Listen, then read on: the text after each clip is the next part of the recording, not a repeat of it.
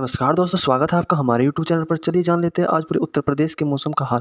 अगर आप हमारे चैनल पर नए हैं तो चैनल को सब्सक्राइब करें और वीडियो को लाइक करें और कमेंट करें कि किस ज़िले की मौसम की जानकारी आप जानना चाहते हो। देश भर में बारिश का दौर जारी है। कई इलाकों में भारी बारिश से जनजीवन भी अस्त व्यस्त है। शुक्रवार यानी अट्ठाईस जुलाई को दिल्ली समेत कई राज्यों में भारी बारिश देखने को मिली। वहीं उनतीस जुलाई को भी कहीं कहीं हल्की बारिश देखने को मिली है।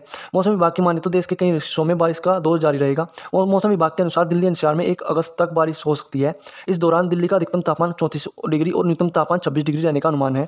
आसमान में बादलों का डेरा रहेगा। यूपी की राजधानी लखनऊ में भी भारी बारिश की संभावना जताई गई है। मौसम विभाग ने जम्मू कश्मीर, लद्दाख में अगले तीन दिनों के लिए येलो अलर्ट जारी किया है। हिमाचल प्रदेश, उत्तराखंड, उत्तर प्रदेश के कुछ हिस्सों में पूर्वी राजस्थान, छत्तीसगढ़, उत्तर पंजाब, उत्तरी हरियाणा में भारी बारिश की संभावना जताई है। साथ ही गुजरात, झारखंड, दक्षिणी हरियाणा, बिहार, दक्षिणी पंजाब, लक्षद्वीप, रायसीमा और तमिलनाडु में हल्की बारिश हो सकती है। मध्य भारत में भी अगले दो दिनों तक भारी बारिश का अनुमान है। ओडिशा में इकतीस जुलाई तक बारिश होगी। पश्चिमी बंगाल और सिक्किम में भी अगस्त, एक अगस्त के बीच बारिश की संभावना है।